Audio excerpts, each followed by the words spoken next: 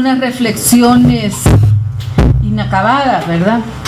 Como decimos en el borrador, sobre la crisis de la ciudadanía patriarcal y capitalista en nuestro país. A manera de introducción, una idea que hubo épocas en nuestro país en las que las fuerzas del terror de la dictadura se impusieron a la razón de la ciudadanía lo que obligó a miles de ciudadanos y ciudadanas a dejar sus sueños, estudios, trabajo, familia y a luchar política y militarmente por una sociedad más justa y democrática. Qué bueno que ahora, años después, algunos ciudadanos se han atrevido a marchar, gritar e indignarse, pero qué malo que sectores importantes de la sociedad no vean el contenido patriarcal y clasista detrás de estas de estas acciones entre comillas ciudadanas, pero que en realidad a mi juicio son en contra de los cambios. Como primero, este, daré un punto de referencia de la ciudadanía patriarcal desigual. La concepción moderna liberal de ciudadanía tiene como punto de partida el influyente trabajo del sociólogo británico Thomas H. Marshall, este, en su estudio de la ciudadanía y la clase social. Para quien la ciudadanía requiere un Estado liberal fuerte, democrático, que garantice derechos civiles, sobre todo afirma los derechos de la libertad, este, los derechos de expresión, pensamiento, religión, propiedad privada, por supuesto, y justicia, y los derechos políticos que contemple el derecho a participar en el ejercicio del poder político y los derechos sociales, ubica el derecho al bienestar y a la seguridad económica. Según Marshall, los derechos sociales permiten a los ciudadanos y a las ciudadanas ejercer realmente sus derechos civiles y políticos. Entonces, para él, pues no, eh, la condición del ejercicio de los derechos políticos y civiles eh, son el bienestar y la seguridad económica, o sea, los derechos sociales. Alejándose del planteamiento de Marshall, las derechas conservadoras en nuestro país y en el mundo sostienen que asegurar un mínimo vital o estado de bienestar a los ciudadanos y ciudadanos promueve la pasividad y una cultura de dependencia. Pretenden con esta idea inhabilitar a las mayorías de las ciudadanas y ciudadanos empobrecidos para ejercer sus derechos. Para la derecha conservadora, desde su inicio, la situación de no poder satisfacer las necesidades personales y familiares es un obstáculo para el ejercicio de los derechos políticos. Y así nacen los derechos políticos, pues reducidos a aquellas personas, varón blanco y poseedor de bienes, que es congruente con esta visión. Este, en una ocasión, gente conservadora de Provida de los Estados Unidos visitó la Asamblea Legislativa y nos dijo que es importante quitar las ayudas a las madres de escasos recursos porque esto las desmotivarían a seguir teniendo tantos hijos. Entonces queda reflejada en realidad cuál es su visión del ciudadano autónomo pero este, tiene un contrasentido este planteamiento.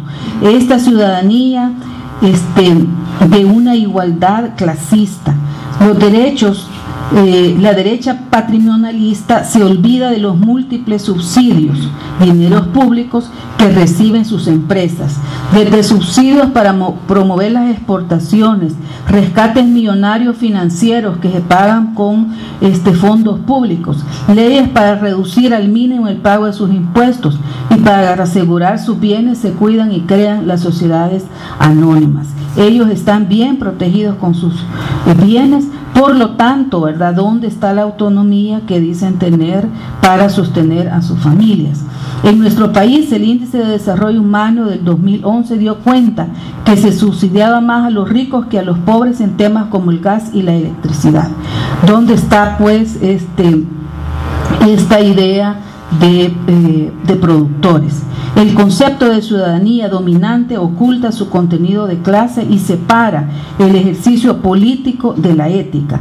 Todos y todas somos iguales formalmente ante la ley y tenemos derecho a la propiedad, al honor y a la seguridad. Pero el PNUD en el 2011 da cuenta que el 20% de ciudadanos y ciudadanos más ricos recibe el 52% de la riqueza del país.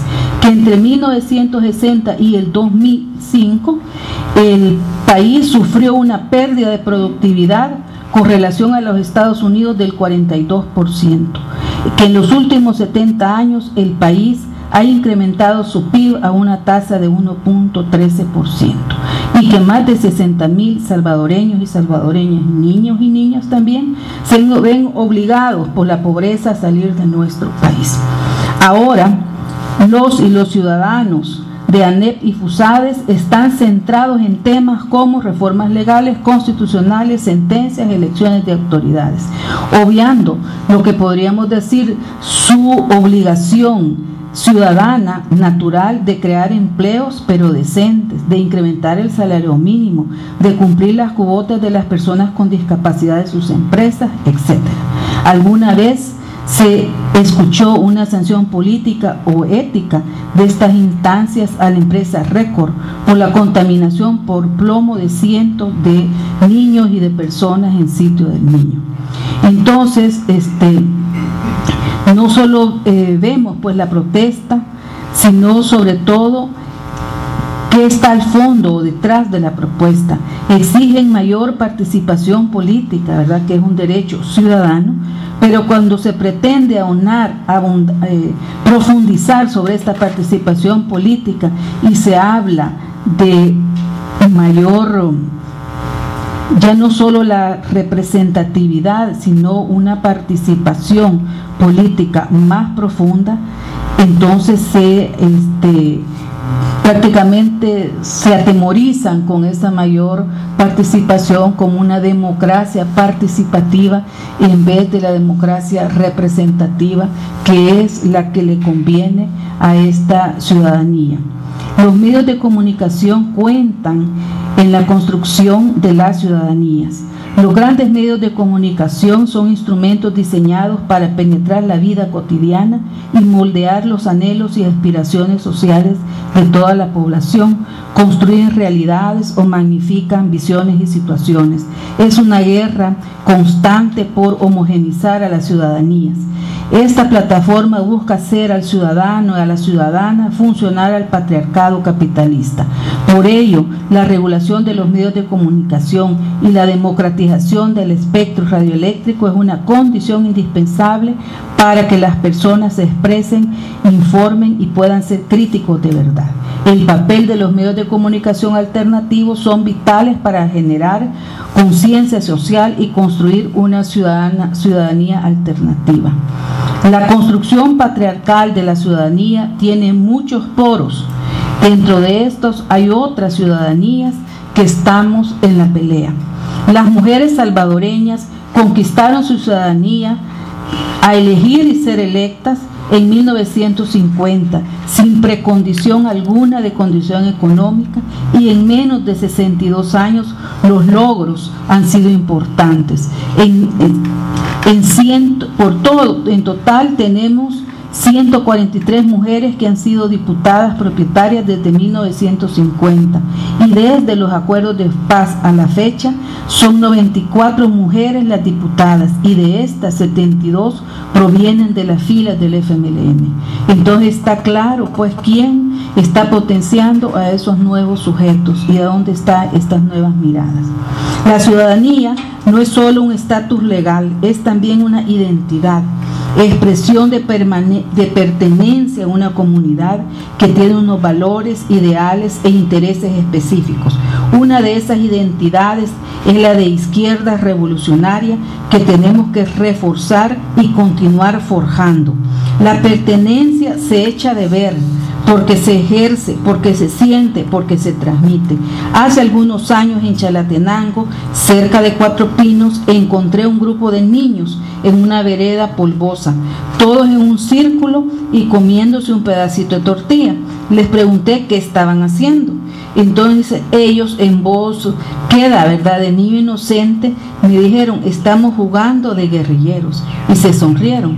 Entonces eso para mí es una idea de pertenencia de un niño de unos niños que reflejaban en realidad lo que ellos veían que nosotros éramos, en un círculo y no en una columna, ¿verdad? En un círculo que significa igualdad, que significa ida y vuelta y este, compartiendo, que eran esos ideales, ¿verdad? La ciudadanía patriarcal capitalista coexiste la igualdad política formal, ilusión, con la condición de pobreza, vida real.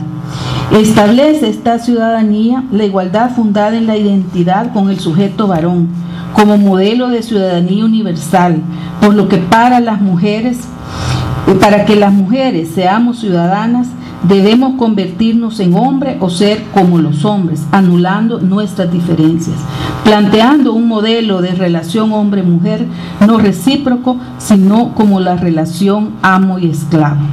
Las mujeres han sido incorporadas al orden ciudadano como mujeres, como subordinadas a los hombres, por lo que los postulados del ciudadano autónomo es imposible para las mujeres dentro de esta concepción de ciudadano patriarcal.